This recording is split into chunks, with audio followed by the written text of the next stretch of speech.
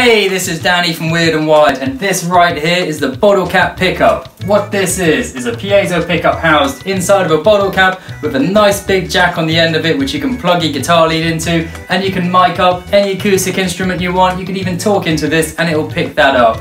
I use this style pickup in diddly bows, cigar box guitars, anything which doesn't necessarily require a full guitar pickup or a bass pickup. And I find putting it in the bottle cap, as well as it looking cool, in my opinion, it also helps control the resonance of the instrument, filters out any more unwanted, undesirable noise.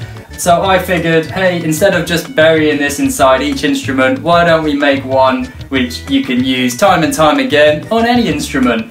So that's what this is. You can pop a bit of Blu Tack on the back of this, stick it to the front of your instrument, and it's as simple as that. Here it is on a couple of different things.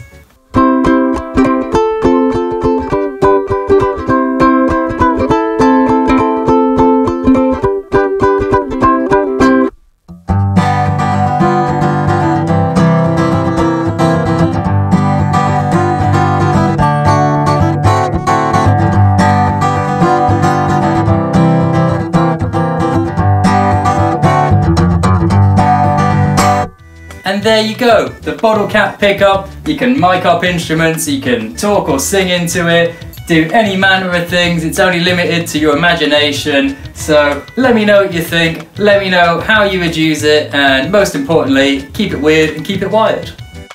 Hmm, weird and wired.